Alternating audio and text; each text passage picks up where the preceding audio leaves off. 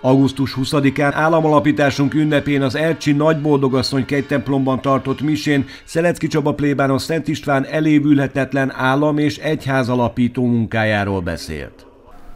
Az ő példáját kell követnünk, valahogy meg kell értenünk, követnünk kell,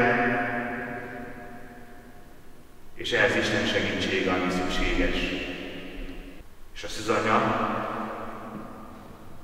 ő felajánlotta az országot, amit ünnepeltünk, és ráadásul egy kegykép is Ercsiben, egy Mária kegykép, hát mi egy picit duplán ünnepülünk, mert Szent István király, a szüzanya nagyon összekapcsolódik egymással. Azóta az egész magyarságnak ez igen fontos. Egy erőt adó, egy lelkesítő, egy bátorító kívánom nektek, hogy ez a mai ünnep legyen bennünk jelen életünkben, legyünk büszkék Szent István királyra, mindig álljunk ki mellette, hitünk mellett, töltsön ez büszkeséggel, a szanya iránti tisztelet is,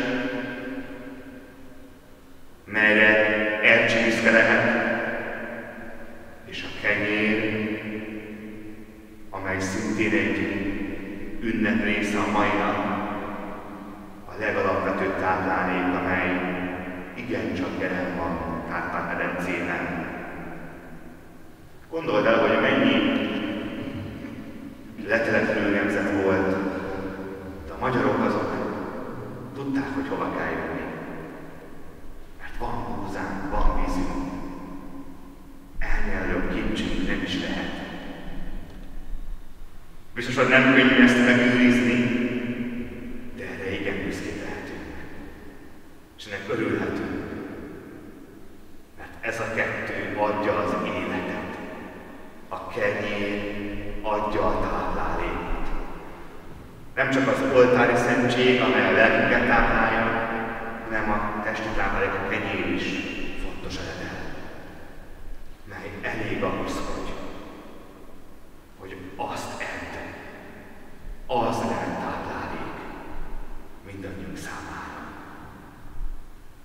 Szent István király, könyörög magyar hazánkért.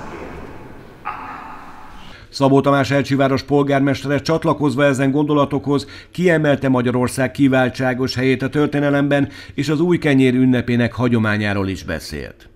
Magyarország mennyire és milyen régi állami hagyományokkal bír a többi nemzethez képest, hisz Magyarország volt lényegében az első között államon Szent István hatására, hogy megalapulhatott, és azóta is így él ez a nemzet a Kárpát-medencében, hol kiteljesedve, hol kicsit megcsonkítva, mint jelenleg is.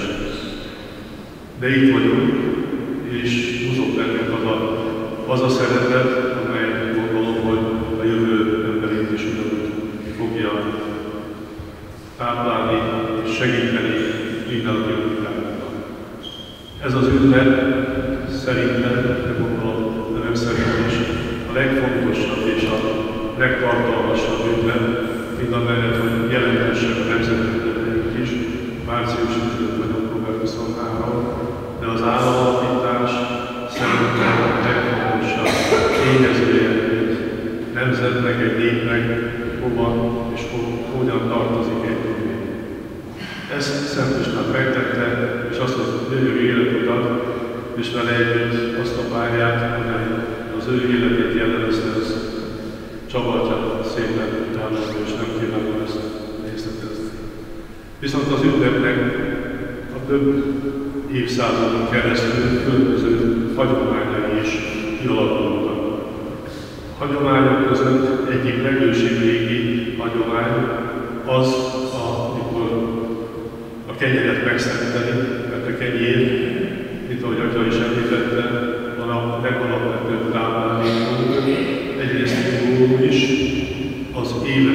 árnyát a közöncsek, és tulajdonképpen a rajta átöltött piros-fehér zöld szarag is még egy olyan szimbólumot is jegyez, hogy a nemzet összetartozását, összefogását is mint jelképezi. Az ünnepi misét a római katolikus plébánia kórusának éneke kísérte. Amen.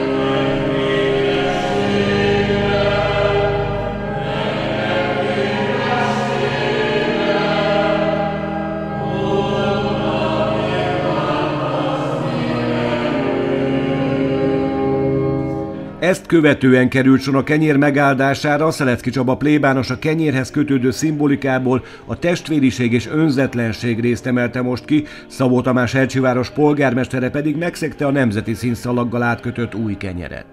Jézus Krisztus, a te fiad által, aki a pusztában megáldotta az öt kenyeret és megszapoltotta, hogy táplál vele az összegyűlt sokaságot.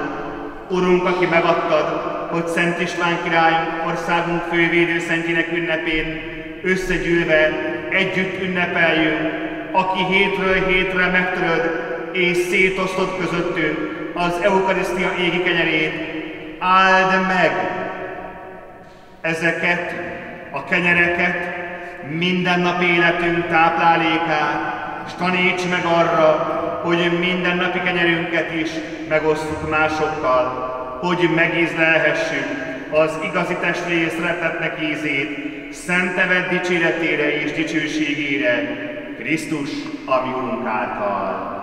Amen. Az igaz, mint a papája.